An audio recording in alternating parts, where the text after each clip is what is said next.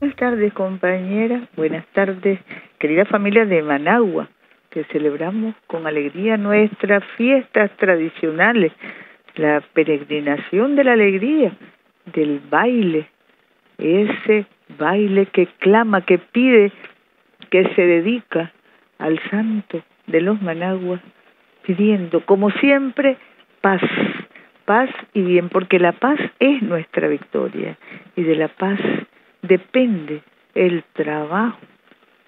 el trabajo, la estabilidad de la paz depende la prosperidad. Somos un pueblo alegre, la felicidad que tenemos se transmite, se contagia y es la feliz, la felicidad de una comunidad que vive en concordia, que practica la reconciliación y que va adelante siempre batallando para salir de la pobreza, que es un pecado capital. Y quienes promueven pobreza son pecadores, sacrílegos. Promover el trabajo desde la paz, desde la reconciliación, desde el encuentro, desde la comunidad que vive en concordia. Promover el trabajo, la seguridad, la estabilidad y la prosperidad es cristiano, socialista, es solidario. Y aquí estamos entonces celebrándonos en Managua con todas nuestras tradiciones y celebrando también el inicio de agosto. He recibido una carta hermosa del profesor Orlando Pineda, alfabetizador, coordinador de la Asociación de Educación Popular Carlos Fonseca Orden,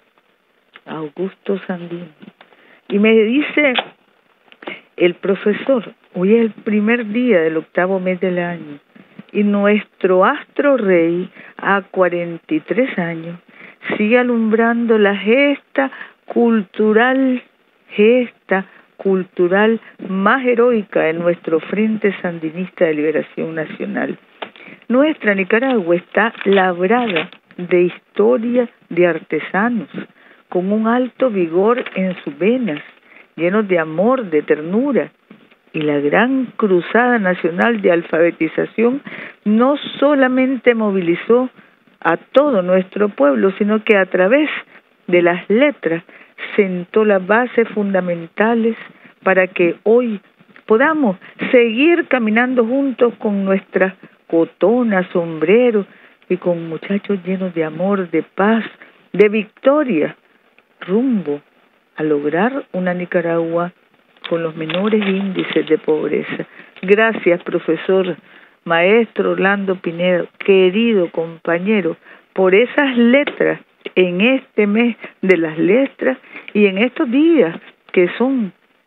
de aprendizaje, que son de educación de calidad, que son de educación que cada vez alcanza mayores niveles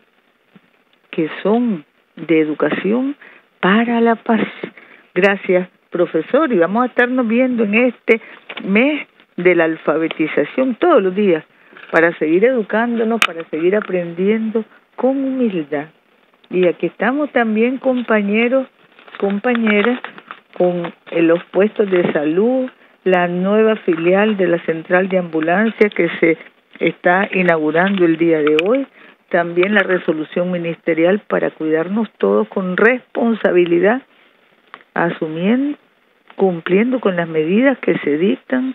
para combatir el dengue que nos quita vida todos los años en todo Centroamérica y en tantos otros países. También ampliamos saneamiento en Ginotepe, nos, nos reporta el compañero Erwin Barrera, y hay un reporte de la producción nacional de carne que según el MAG y según el sistema de producción hay una producción total de 15.5 millones de, de carne teniendo un crecimiento del 1.5 y también la producción local e industrial es del 70% a nivel nacional proviniendo de la finca de los pequeños productores, lo cual es un gran logro, que aportan, estamos hablando de carne de cerdo, a los rastros municipales y a los matarifes, incrementando esto en relación al mismo periodo del año pasado en 4.8, mientras que el 29.7% de la producción se procesa industrialmente. Hemos importado este año, y esto es un logro también, un 38% menos de carne porcina en relación al año anterior. Nueva Victoria, viviendas en Nanday, Mesomoto y Alahuina, Totogalpa, calles asfaltadas, adoquinadas, en Masaya, en San Juan del Sur, en Nueva Guinea, también caminos en Ciudad Antigua, La Reinaga, Mazatepe, La Libertad, casas de cultura, mejorándose en los municipios de Carazo y Masaya, puestos de salud en El Rama, La Reinaga, Malpaisillo, Matagal, sistemas de agua potable comunitarios, Pueblo Nuevo, Ciudad Antigua, La Libertad, Nagarote y parques de feria, mejorándose en Pueblo Nuevo, en Tola y estación de bomberos en Huihuilí, Nueva Segovia. Desde el Ministerio de Educación, compañeros nos reportan que estamos entregando o iniciando proyectos de infraestructura y equipamiento en el Rama, Centro José Dolores Estrada, Héroe Nacional, una inversión de 8 millones. Y luego también estamos en la etapa municipal de selección de los mejores maestros de primaria y secundaria que serán reconocidos en el acto que siempre realizamos